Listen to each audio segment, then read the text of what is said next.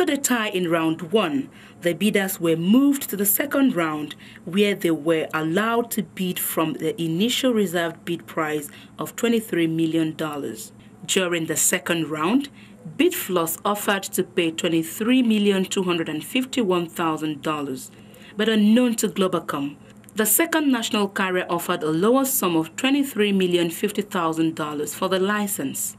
At the end of the second round, Globacom was not willing to proceed to the third round, enabling Bitflux to emerge winner. Globe bid 23,050,000 and one US dollars, while Bitflux in the tiebreaker round bid 23 million 251,000 US dollars. With that, Bitflux has won the one slot of 2.3 gigahertz auction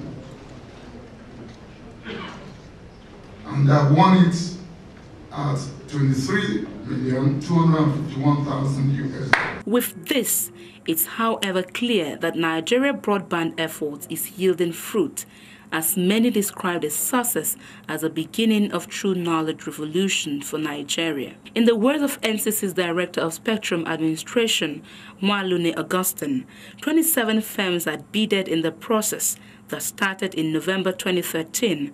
But when the information memorandum was released, only two of the firms met the set criteria with the almost unknown Bitflux Communications Limited, a consortium of three firms including VDT Communications, Bitcom Systems and Superflux International, beating almighty Globacom to the license. Some firms reported to have shown interest in the multi-billion 2.3 GHz spectrum include MTN Nigeria, Spectranet, Etisalat, Mobitel, Bry Media Consortium, Zynox Telecoms, Airtel, Bitflux Communications Limited, Globacom Limited, among others. The process of the auction started with publication with a public notice notifying interested participants of the availability of the spectrum on auction.